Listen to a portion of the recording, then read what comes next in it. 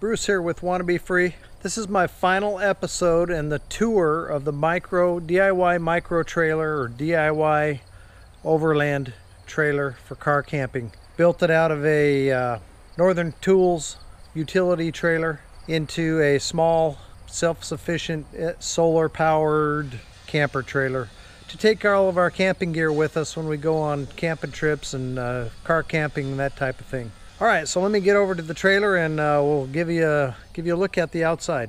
It's finally complete. Let me show you on the front this little I bought a camper jack. This is the type of jack you usually put two of them on the back or on the sides of your trailer to stabilize it. And I don't know if I can, maybe I can set this camera up. Let me do this. When you lift up the tongue, folds back and locks into place for travel.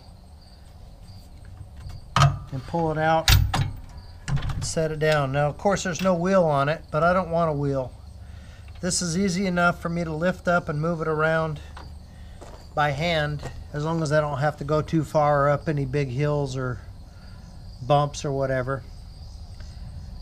But it doesn't add a lot of weight. It is adjustable for height I just have it set and kind of locked in where I like it to be. So that makes it real nice on the front if I want to disconnect the trailer, park the camper in a different location, park this trailer in the sun or something like that. And it, you know, it can just sit all by itself.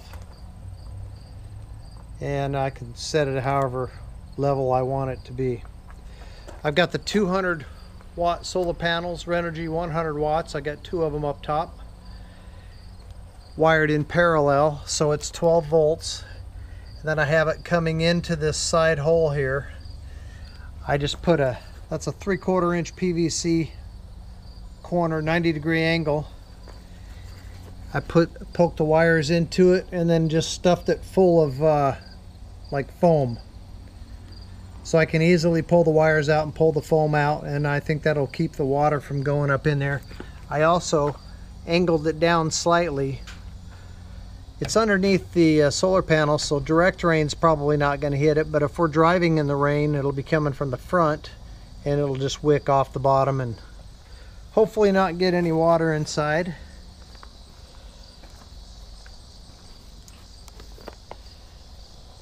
I got uh, the latch system and the hinges hinges on the bottom for this back door.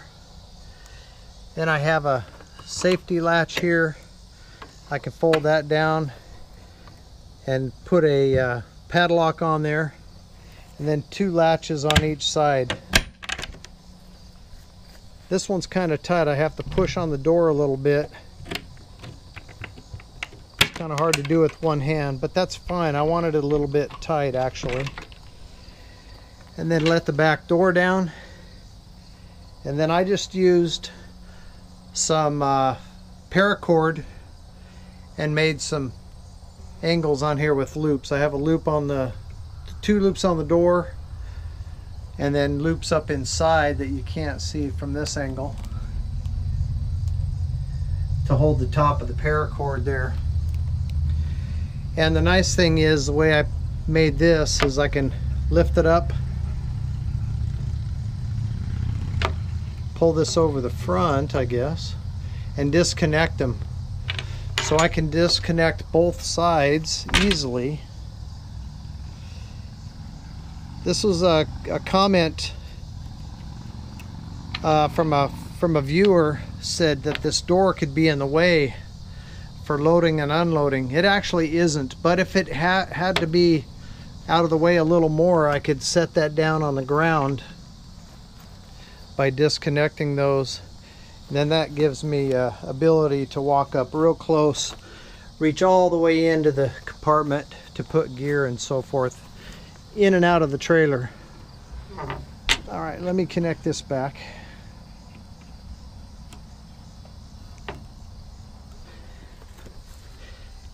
And then these these cords are just a uh, oh I don't know what you call them little slide adjuster so you can I can adjust the door up or down depending on where I put the little slider. And it just kind of crimps and pinches the, it's just like for a tent rope type thing. But real simple and real light. And it works like a charm so far. And then that gives us a nice table. That comes up to just about my knee for height so I can set my camp stove on here and cook on it and that sort of thing. Nothing unusual about this side, it's just, it is what it is over here.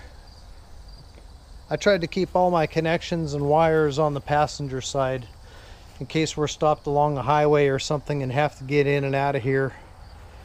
Or if I have to do anything with these wires and stuff I'm on the curb side of the road it, working on it. So I'm not standing out there in the middle of the traffic. Hopefully I don't have to do that but just in case. And then back around the front the same hinge setup and latch system as what we have on the back one of these on each piece of the top and then a uh, hasp now this one I mounted in reverse so that it folds up because I had this, I want this to come down and protect the door. When I open the door, it rests on this coupler thing right there. So as I let the door down, rides right on that so it won't scratch up the door.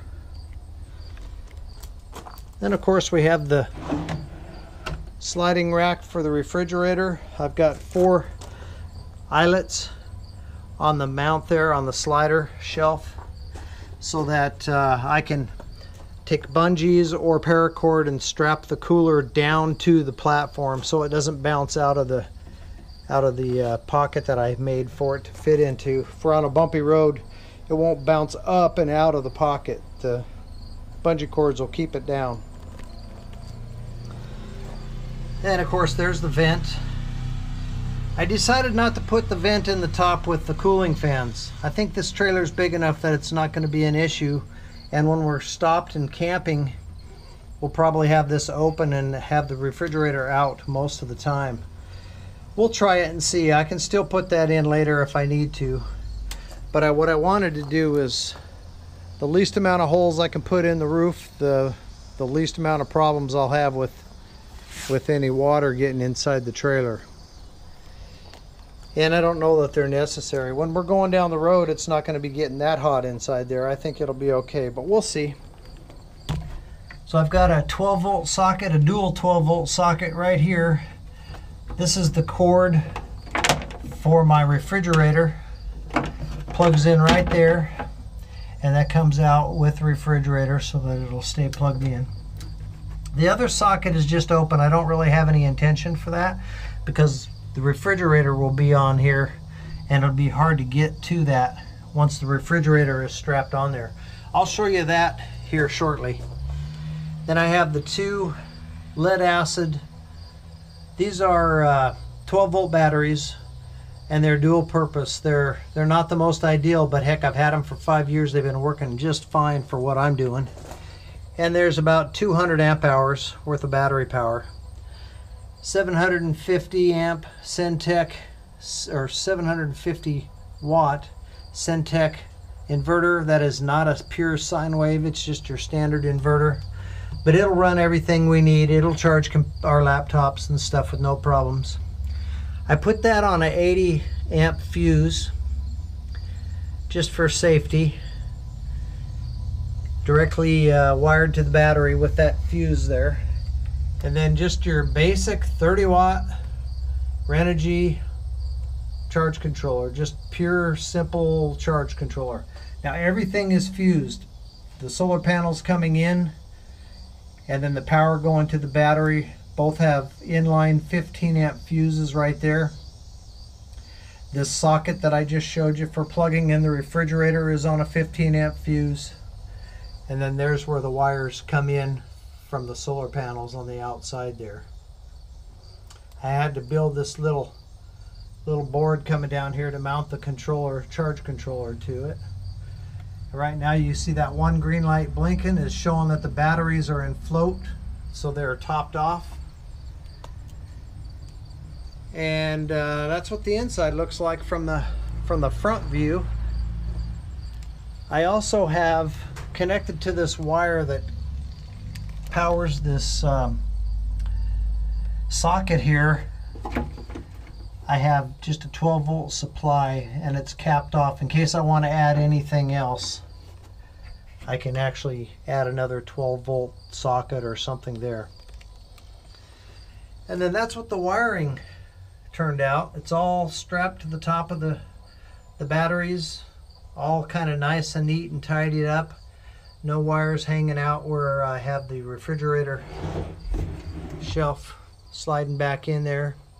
And that goes right to the batteries. It doesn't quite touch them, but it goes right to them. If you can see that, close that gets. And also it comes flush with the front of the inside of the door. So when the door is closed, this shelf can't go forward or backward. It's locked into place. And then it, of course it can't go side to side because it's bolted to those, or it's, uh, yeah, it's screwed to those those 2 by 4s that are bolted to the floor and everything else. Alright, let's go around to the back. And then in the back, I've got a uh, modified cord that comes from the Cen-Tech, what is that, um, inverter back here and connects to this power strip. Now this is the same one I had in my fifth small fifth wheel camper I just modified it to where it would fit in here. And then this is just going to sit right here by the back door. Our containers sit on the other side of that and kind of keep it from sliding around forward. I'll show you that again. I'll show you kind of loaded up here shortly. But this also, I modified that Cen-Tech inverter to have a remote switch, which is just taped to the side of my power strip. So I turn that on and then I have power to my power strip. I can, I don't know if you can hear that beep or not.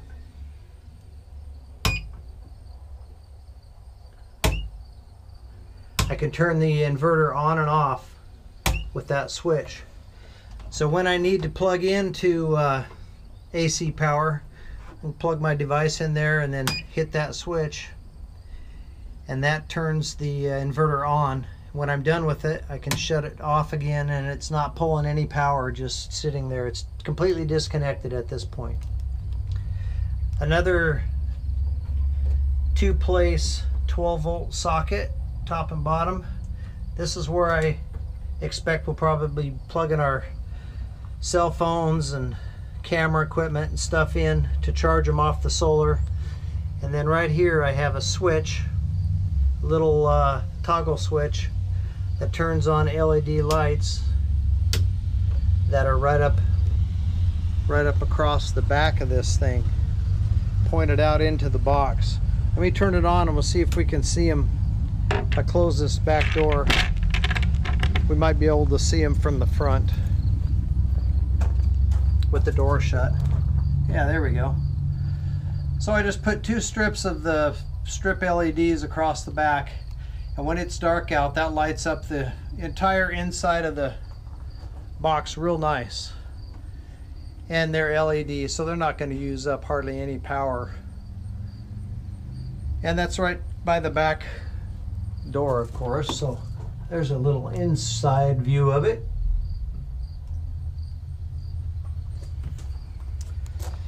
All right well let me I'm to shut that light off and I'm going to put my gear in here and kind of show you how it looks when it's loaded up. Oh, I wanted to show you what we're putting in there. Two of these big lounge chairs, and these things are huge. They weigh about 22 to 25 pounds a piece, so there's 50 pounds just for those two chairs.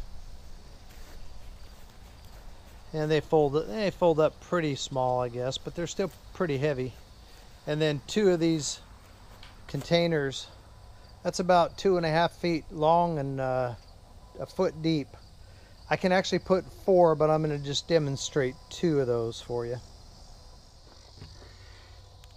So there's with the two containers and the chairs. And you can see how close those chairs are just barely big enough to fit up in there. And uh, actually, let me let me close the back. Turn that light on, see if that makes it look nicer.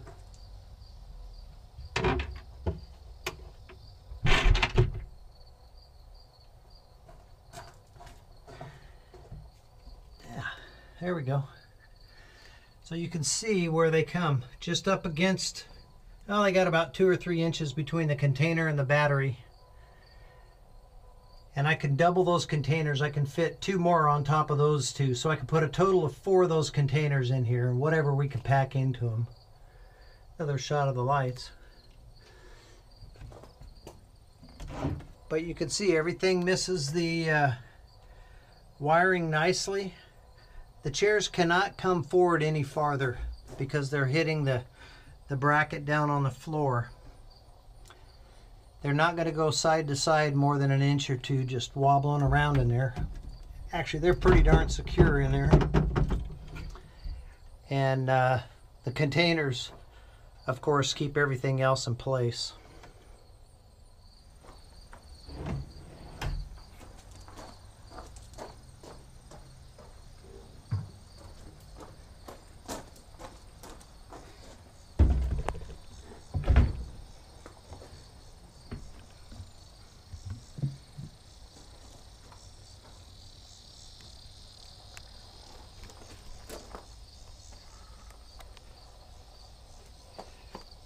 And then here's our refrigerator on the shelf.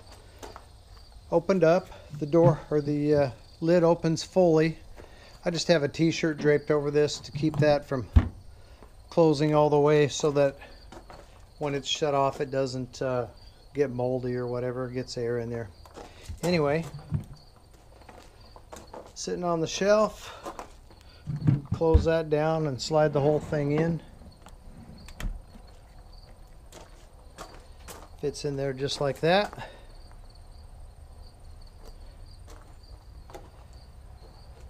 And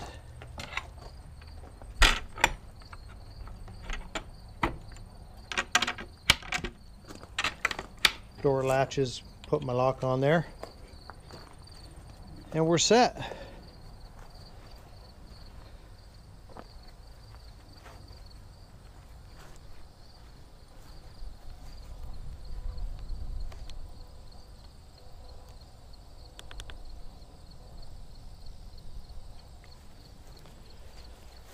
All right, let me reach in here and turn this light off.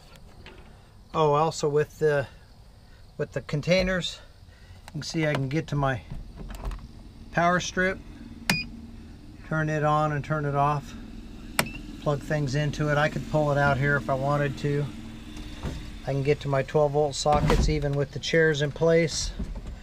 And then I can also get to my light switch and that's what it looks like from here.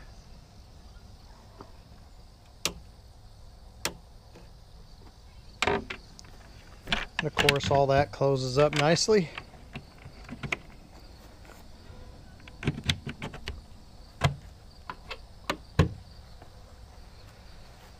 And secures for for driving.